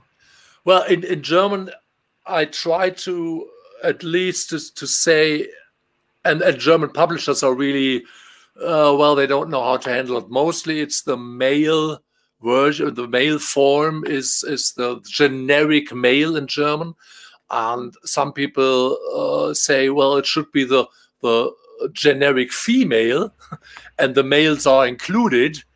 And uh, in, in rule books, I, I don't like the uh, in German you you must do something like you know he slash she, and then you have to. But then it's not. It, it's another difference. In English, you have a doctor. A mm. doctor is not of any gender. And not in German. Not in Germany. In Germany, you have an Arzt or an Ärztin. Yeah? You have a pilot, a pilot, or a pilotin. the female forms are all different. So you all, again, you have to change. If you change the player, you have in German Spieler und Spielerin. So they're two words. So you, if you change it into gender neutral, then the text becomes more and more unreadable. This is not easy to do. It's not if you really change he slash she and then all the both forms into a text in a game rule, then yeah, then you text becomes brackets around the in. Yeah, or you make a, a, small asterisk or whatever. You there are different ways. It's, it's mostly they do it in German. They do. Uh, we use in the beginning of the game. We use the male uh, generic male, but all females are of course included. Or in examples, they use uh, female player names. So they they try to put the females' uh, perspective somehow into it. But the they thing is something that in Germany is not used at all. It's not that much in discussion, and it's really hard to to change too many things. There was only one rule uh, I translated where we, we had this, exactly this problem, and we decided to use the generic female and tell in a, in a sentence that all males are also included. Um, mm. this, this was a fun experience because we also we always said about the we always use then the Spielerin, the female form, and uh, we had some proofreaders. I, I also work, work sometimes with proofreaders of the German text or whatever, people I know, people the publisher uses or whatever, and we did it there. And the editors all sent back all the corrections because the female form was cut into the male form. They said, no, this is all wrong. because they, they missed, the publisher missed to tell the editors or the proofreaders first that it is deliberately done and not by mistake. Uh, I, I, liked it. I, I like. Uh, I, am really into uh, all these discussions, and I'm, I'm, i read a lot of feminist literature, and I'm I have trans friends and whatever. But in every in everyday language, I, I have to. My mind is kind of old, you know, and it's kind of. I, I sometimes I, I'm not used into this new kind of language. It's hard for me to to be correct all the time. But I, I'm open minded for this, and uh, in the rules, well, yeah, yeah. It's only it's only a couple of couple of things. I I read some Rebecca I only read one right of now. these books. I've read Amanda Palmer's book, which is a really powerful book. I think that this oh, for yeah. me is if you want to run a Kickstarter, you know, I think that this is a really good book which kind of talks about the notion of the relationship because I think that whilst it's easy to talk about, oh, this thing will give you more marketing and this will bring in more people sometimes it's important to think about take a step back and think why are you doing this? And yeah. um, be a little bit more philosophical. Um, yeah. some underlying mindset spotted from the editors there. Yeah. And so i think what home is suggesting is that there is some you know strong gender bias some cultural um, patriarchy. Yeah, well, I uh, well in, in in German. Well, I'm in a game designer association, for instance, too in Germany, and we have I don't know, ten percent females, or or trans people. It's all a, a male. It's a male scene. Board games are many more male people or people who I don't know what's the English. Uh, considering identify themselves as identify as male are playing this and, and we have this you know this this uh, scandal things like in the board game industry kind of really rude stuff against females and so on and so forth. And it's it's kind of of course the target audience is kind of well publishers think if we go too far then the audience will say oh now i have to read this gendered rules. Oh no why should that be uh, I mean, I feel like this is something oh, that we should have yeah, a great. big panel about. Like yeah, you know, yourself, myself. Um, I don't know Talita because maybe Talita is Brazilian, and someone who speaks some other language, and we can talk about because I also speak Farsi, and I can't remember who it was. I was talking about, you know, the fact that in Farsi you've got un, so there is no gendered version for he or she.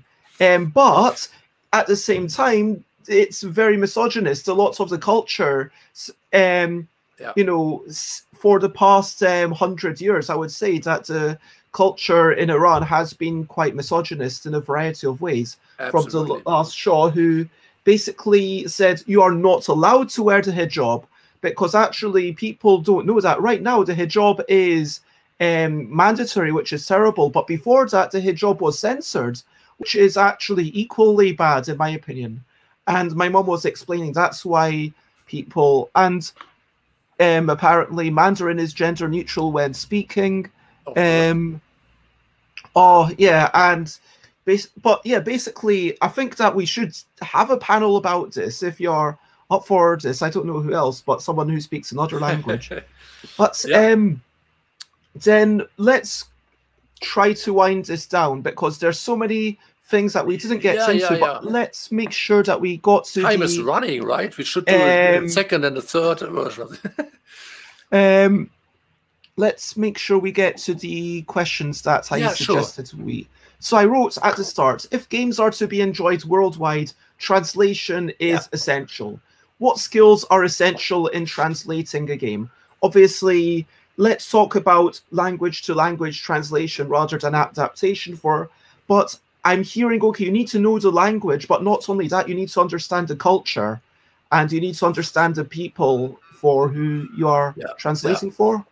Yeah, absolutely. I, I mean, it's kind of it, it just matched. It, I, I was matching so good into this job because um, as long as I can think, I, I write. I write. I was storytelling. I'm writing all the time. So so language and text are always in, in, in my in my head more than maybe other people. And uh, then I started gaming, and I I play games for 50 years now, and uh, even more and more in starting in 2005 starting with board game geek and all this and i was really in the board game scene. And then i was you know with the screenwriting and all these things you work with text you work as a team you work on changing text to perfect to make them more perfect. And then after the these starting years 2007 and so on i was coming more and more into this and i think you really need you need to be a gamer you have to be into board games. That's that's for sure. You have to be a board gamer, uh, knowing what the game terms are, knowing lots of different games and game groups and so on. So your gaming experience with you need to know the target group. You have to if if you if you translate a role playing game, you should have played a lot of role play games, of course, and and and know the scene and know the people. And and then the language thing is another thing. You need to have a really a, a, a kind of uh, a, how to work with, language. You need to be very precise. And I'm a perfectionist, so I'm really good at that. I'm really German there to be really consistent in your language and so on. To shorten sentences. German always is longer, usually, because you know these small, short English words are great, and in Germany you have these long words because if you have a uh, in, in English, you have several short words. Like you just put them in a row. And that doesn't uh, sound that much longer. in German, shrine, that's like six letters, right? Yes, of course. it is kind of. Wait, is Schwein actually seven? S C H W. Yeah, yeah, yeah. And so that's more than yeah, twice sure. as many. Yeah. And then, and so, but but I I am so far now from my experience, sometimes my German text is shorter than the English. Why? Because I, I realize when in the English text there are uh, things repeated in, in, in, in one in one paragraph. It's it's repeated in a in a not efficient way, and you can you can you can do two sentences into one shorter or whatever. You can change a little bit in the structure and they can be much shorter to achieve uh, that you have to fit into the layout. Uh, the game rules are not on the rules; they are in a layout. So it's really hard to get to get it in the layout on a card or whatever. A card has just that space.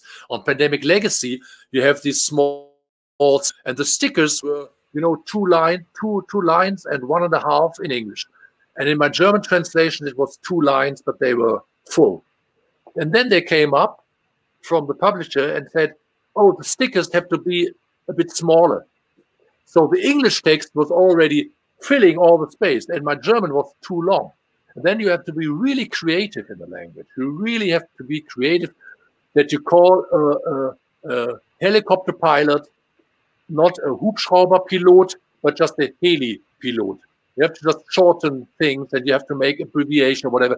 You have to, in grammar, you have a lot of things in grammar going on that you don't use the longer version of the sentence you can construct, but you construct it more shortly. And you have to have a lot of experience. And I, right now, I'm I'm really good at that. So that's kind of uh, experience there. And despite what Holmes says, I mean, presumably there's got to be some understanding of the base material and some level of authenticity to the intent of what was originally going on. So Absolutely. that everyone around the world, if Absolutely. you come to an international game of I mean, I don't know how you would do a tournament for Pandemic Legacy Season 1. I know there's pandemic tournaments, but you know, like if you were yeah, maybe Spirits Islands, you could have a tournament of that. And if you have a worldwide tournament of Spirits Island, you want everyone to be playing exactly the same game, right? Uh, what's the question again exactly? um, yeah, basically, um, it. I'm just saying it's super important to have the correct precision of what the original rules are meant to be. So everyone around Absolutely. the world is playing Yeah. the same game. No, fir- first of all, as I said, the first reading and all the questions to the editors, you have to be really clear about everything as as as clear as possible as it gets, uh, and uh, and then comes the text work.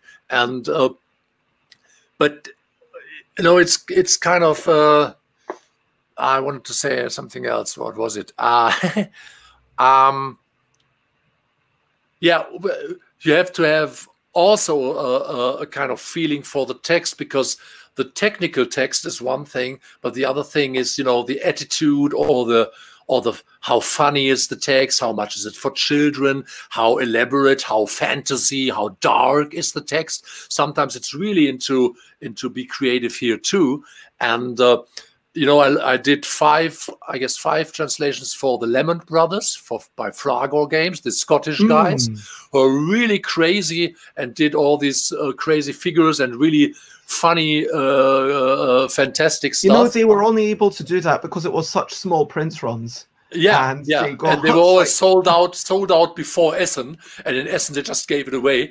And they had all these puns and all these funny things in the text, and it was all. And then, and when I did trans- translation, I realized the fun stuff was only in the Chrome text. It was never in the text. You really have to be precise. There were no, there were no puns in in the precise rules, always in between when they explain a little bit about this and this. And then I did some because all the puns didn't work in German, of course. You know, it's it's, it's just Then you word to games. your own puns. Absolutely. I made a collection then, depending on the theme, with Poseidon's Kingdom. It was just fish and water and ocean.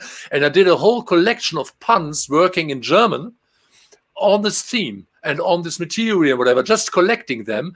And then I was looking for for for spaces in the text where I can put them in more or less, you know, randomly because because it was done honestly random in the English text too, but to to save the the level of of puns and and how how you know the, the Scottish guys were really like they did really bad jokes sometimes and you say okay do i want to have a bad joke here or how bad how how is the humor in german is different from the english one so you really have to be this this is another skill you need so you know you have to see okay this is And is presumably that's something that takes more time and you need to Oh, yes. charge a lot Oh, yes. more for. And um, no, I don't charge the Fragor. They always get the same the same charge for all of their games, long lifelong. It's the only company I guarantee it's that much money and two of your games copies because we work together for such a long time, and I will never charge them more. Well, I hope Exception. that um, this sort of generosity never becomes an undoing. No, no, Um, we we are, oh, we are best friends. I met them in Scotland and so on. We, we are really close, and it's really great. And I, I don't want to be too too you know professional. Ah, no, no. Other questions? About like um, the final thing is what pitfalls need to be avoided. That's the final question. That's I want to ask. Well, Tell we- me we- about one yeah. or two mistakes. We can go into it. Maybe I like. Yeah, hopefully we can have you back on again at some point in the not too distant future.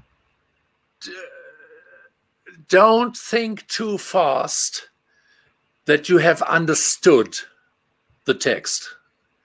Don't, don't be too quick. Oh, it means that. Oh, I have a German equivalent.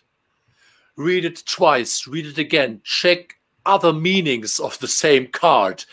See how the card text, for instance, is inter- interactive with other things and so on. So be really again and again. Don't think too quick that it's done and that you know what it means. So it's self. Be really sentence for sentence again. Ask: Is it really what I thought? What I think it means, or is there another meaning I haven't seen yet? So it's really this is the most thing. The other, well, the other pitfall, I don't know. It's kind of uh, don't don't hesitate asking questions. That's the other thing. If you think this is not clear, ask people. If uh, I annoyed, I asked Martin Wallace, I asked Rob Daviau, I, I wrote them emails with 20 questions. I said, this sentence, I don't quite, do you really mean this? Is I, I cannot, uh, I, I don't know the game good enough, but does it really means what I mean? And they described in different words. And then they wrote back, uh, yes, it means exactly this and this, and they wrote it in, in other terms, and that's okay. I really understand it correctly. So be Yeah, communicate. if you are working with people, yeah, you need to talk to them. yeah. And translation is is the area of misunderstanding. Anyway, I mean, it's really you really have to be as precise as you can get. Yeah, I could oh, say stories that I'm not going to, but um, of Hol- Holm is asking something interesting. okay, we'll have this as the final question. Okay. What do you think about a full-time job in translating Yeah. uh, as a German at a German publisher? So, like, I think they're talking about uh, internal position for a German publisher. Do you think it's? I'm not familiar with this term piecework. Akkordarbeit. Akkordarbeit. yeah. Or Okay, can it be uh, great? Could you um, translate into English what piecework and Akkordarbeit means? um, it means that you are paid by how many you how, how, how much you you you you uh, how much you you you, you get And you're in a, in a, uh, in a in a factory you are not paid by hour but by the pieces you get done Hmm. so you're really into you know it's more stressful so you need to rush. You can't do a great job. Right. So, yeah. Uh, well, honestly, a huge publisher offered me a full-time job, and but it was not at Stuttgart, and I had to move. I had to change my whole life. So, well, ooh. Where to? and and it was no, I can't say that because you know the company then, uh, but they offered me because they were getting bigger and they had a, a, a department of localizing with six seven people and i would be become part of that. Of course a dream job for somebody but to me it's always you know if you do it full time and you don't do anything else then you are in a cage. You know right now i'm writing a novel and i wrote 160 pages in 10 days. You cannot do that if you do it full time and you cannot pick the things you like and you cannot uh, you know, you cannot say to a publisher, no, I don't want to do that. It's too much work. It's too stressful right now. It's the freedom I really enjoy in being a freelance guy here. You know, when I had the divorce, I was I was telling the, the publishers I was regularly working with, I said them, right now I'm not doing anything for about, I don't know, for half a year or a year. Don't ask me. Look for somebody else. I'm right now, I cannot do anything. And afterwards, I was writing a couple of emails. Hi, I'm in the job again. Ask, uh, give me something to do. And this freedom is really, to me, it's really great. But if you're really into it, of course, for some people, it could be a great, a great job to do exactly this. Hmm. And it sounds like your mind works in a similar way to mine. That we both want to ideally do multiple things. I mean, I've been thinking yeah. how much I would love to have my keyboard from Glasgow over here, and then maybe I could do some evening things at I don't know 8 p.m. UK time. Maybe sometimes I would just do nothing but playing my keyboard for an hour and singing improvised songs. And so, oh, oh, oh I, one thing I want to say about translating, uh, because I also did my I also did uh, games or create games, and I published three of them. And for for game designers, if you are if you are uh, able to to in, in several languages, it's great for you in the development process. Translate your rules into the other language. Do this and do it back again. You will realize because I did it for my first self-published game i translated into english i let it proofread by by people but i did the first and then i realized when you cannot translate it you realize how unclear your own rules were it's this is what because you say this this multi thing if you if you translate your rules into another language you realize that this paragraph isn't working because you you mm. have a hard hmm. time to translate it and then you see where the where the where the where the, where the uh, spots in your rules are not really good work. Now, stuff like that. I want to um, close it off. I'm sorry that I yeah. have to be a bit more forceful with the ending. I want to quickly yeah. acknowledge Scott's comments that you know, depending on your situation, some people might not have that luxury. You know, Scott, if have we already got to date? Are you coming on at some point? Um, but yeah, it would be lovely to have. Yeah, maybe we could chat about that later on. Um, but um, yeah, let's do the recap. Which sorry, yeah. finding my banner. So basically, we talked mm-hmm. about um, food. We talked about translations. We talked about mechanical pencils. We talked about your book about growing these wings. I assume hmm. it's in German. Otherwise, I would actually be interested to read it. But um, if there are German speakers who are interested in this book, could they ask to read it potentially? Well, I'd first have to write it. oh, it's sorry. Still... I thought you. I thought this was no, the book that you'd done. No, it was a very first draft. It was ten days creativity and my first draft, and now okay, I have to so you have it. to do some editing before you show it to anyone. Uh, some, yeah. okay, of course, so yeah, yeah. We talked about the origins of you. You talked about going from one group to another, about the differences between Germany and France in exactitude, about preparation, about how important communication is with all the people that you're working with, about fixed fees and negotiation and how it can be a headache about the cost of making up words, like the time costs, the um, corrections, the guarantees, a little bit about Spirits Island Second Edition, about the skills to be a gamer, knowing that language, not just the German language, but the language of being a gamer, about knowing the target audience, and some vital tips. Don't rush rush into assumptions. Double check everything. Consider the synergies consider the interactions. And then we touched very briefly upon gender neutrality and legacy games and potential part versus full time. But you know, there's so much more that we could chat about. If people want to find you, then where would you like to be found? Oh well, uh, I'm I'm a conservative guy, so I'm still on Facebook. Uh, and you will find me on, on Facebook. There's a game translator, but also a personal page uh, on Facebook. Uh, you can just email uh, Daniel at GameTranslator.de or wherever. Uh, you can also write me on Board Game Geek. I don't know, wherever you want. Uh, these are all fine. I, I, check all the incoming stuff uh, anyway, and so.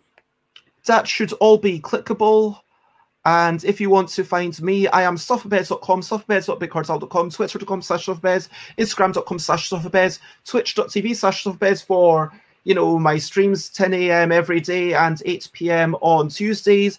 Facebook.com slash things by Bez is a thing, and there's my email. if you want to find my Discord, go to stuffwithbez.com slash Discord. And yeah, if you want to find out my streams, I want to say thank you to everyone. And very quickly, we've got like two minutes.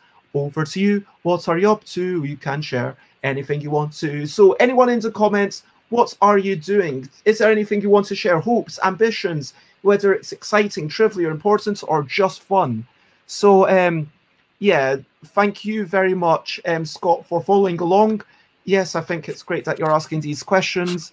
um, da Buch klingt schön, Schon interessant, ja. Thank you. Um, and yeah, it's. I think this is a thing. Like, there's probably a whole topic to be done about having better communication. And thank you, Ed Artwin, and sending and application is up next. Um, I'm looking forward personally to, yeah, streaming tomorrow. I've got my second group thing, which is I believe with Alan Paul, Phoebe Wild, and potentially a surprise guest who I don't want to reveal, otherwise it won't be a surprise. But they've said they almost certainly can come. But it's all about your emotions during a first Kickstarter, because yeah, just that Oh. emotion sounds like that emotional ride. Um, anything you want to share very quickly? Anything you're looking forward to? Feel free to contact me. Okay. Everybody. I'm really communicative. It's just feel free. Just don't don't hesitate in any way. I am continuing to think of you, Xate. Lots of love. Um, and yeah, I was. Um, I'm sorry, I misunderstood your um, desire to watch Netflix. I should have said, "Oh yeah, I'm going to stream." Um, that's not the surprise guest. Sorry, the surprise guest is someone that I've already had on before, because that's the kind of role that I've decided to have. Um, but yes, thank you very much, everyone. I'm also looking forward to seeing Chris and McCall later this evening, and I'm just going to check who is playing. Oh, there's um, Alu Sam, who's a musician doing chill piano, guitar, and ukulele, and yeah, that sounds quite cool. Um, so maybe we'll go there if folk fancy. Um, so please share, spread the word. If you have enjoyed it, there will be future streams. Um, and check out Daniel on all the links. For now, there is only one thing left to do, and this is to say bye, bye, bye, bye. Sorry, did you have anything left to say, Daniel? Uh, no, I, I I would like to do this again with some other topic or same again Brilliant. or whatever. With, Let's or with other definitely do people. it. I I like this, and time was running, but it was so. Yeah. no, it was it was fantastic. It was great to contacting people in these times where you are kind of you know short of contacting people and Aw. without Essen and whatever. I, I really liked all these people here uh, contacting and uh, commenting and everything. So it's Oh, great. yeah. It was great for me. you, so thank you very And much, Bez. Shouts out That's great. to yeah everyone in the chat for amazing questions and comments, and there was so much chat about all the German Yeah. cities. And thank you everyone for doing this. But for now, Thank bye, you. bye, bye, bye. This is a goodbye Bye-bye. song. Bye, bye, bye, bye. Thank you for watching along. Bye, bye, bye, bye. This is the end of the show. Bye, bye, bye, bye. And now it's time to go. Do do do do bye, bye, bye, bye. This is a goodbye song. Bye, bye, bye, bye. Danke für den Denglish. Ding- Denglish. Dinglishing, dinglishing, yeah. Ciao, ciao. Ciao, ciao. Tschüss. This is the end of the so- show. Ciao, ciao. High five. No, high five. Here? No, no. Wait, There, there, there. Here. and now it's Yeah. time to go. Time to go. Okay. See you all. Bye bye. Bye bye. And that's his